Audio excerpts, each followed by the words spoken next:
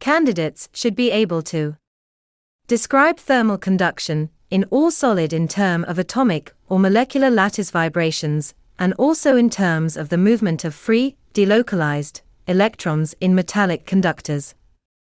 Describe experiments to distinguish between good and bad thermal conductors.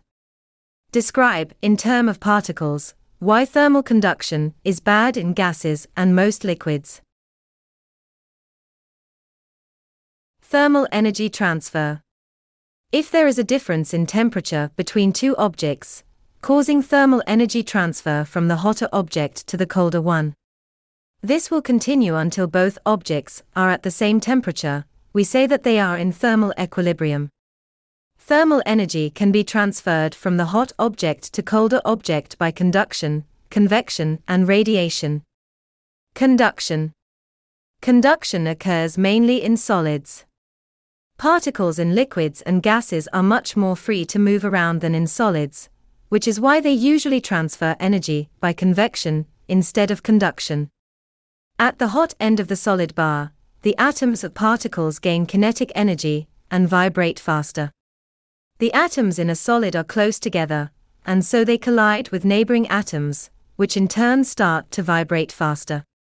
In this way, heat energy is transferred from the hot end to the cold end of the solid bar. If a solid bar is the metals, which have free moving electrons. This causes thermal energy transfer by conduction faster. This is because free electrons gain kinetic energy at the hot end of the bar. These free electrons pass on their kinetic energy through collisions with other electrons and metal atoms as they randomly diffuse through the metal. In this way, thermal energy is conducted from the hot end of the bar to the cold end. Good conductors are the substance that can transfer heat energy easily because they have free moving electrons. Good conductors are mainly the metal, such as silver, copper, iron, aluminum, brass, and others. Poor conductors are called insulators, which are the substance that transfers heat energy difficultly because they have no free moving electrons. Insulators are mainly nonmetal, except for graphite, which is a conductor.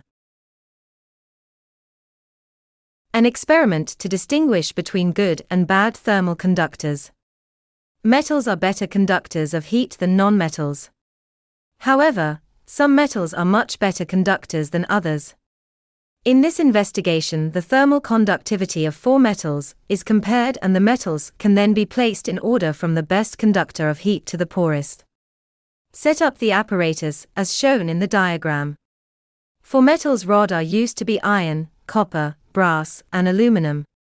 Attach a drawing pin to the end of each rod with a small blob of Vaseline. The ends of the rods, without the drawing pins, should be brought together so that they can be heated equally. Heat the ends of the rods equally with a blue Bunsen flame. Record the time taken for each rod to lose its drawing pin. When the temperatures of the far ends reach the melting point of wax, the pins drop off. The pin on copper falls first, showing it is the best conductor, followed by aluminum, brass, and then iron. An experiment to show that water is a poor conductor of heat. Set up the apparatus as shown in the diagram. Ice is trapped at the bottom of the boiling tube with a piece of metal gauze. When the water at the top of the boiling tube is heated strongly, it boils. The ice at the bottom of the tube does not melt. This shows that water is a poor conductor of heat. However, if the ice is allowed to float normally, it melts quickly when the water is heated at the bottom of the test tube. This is because the water molecules can move, so the water heats by convection.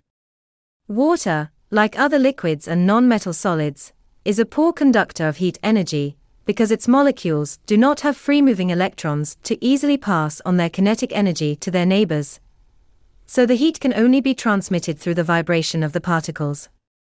Gases are very poor conductors of heat energy, because their molecules are very far apart, so kinetic energy cannot be transmitted from one molecule to another. I hope you found this video helpful. If you did, I would be grateful if you would subscribe to my channel Share this video with your friends, and leave a positive comment.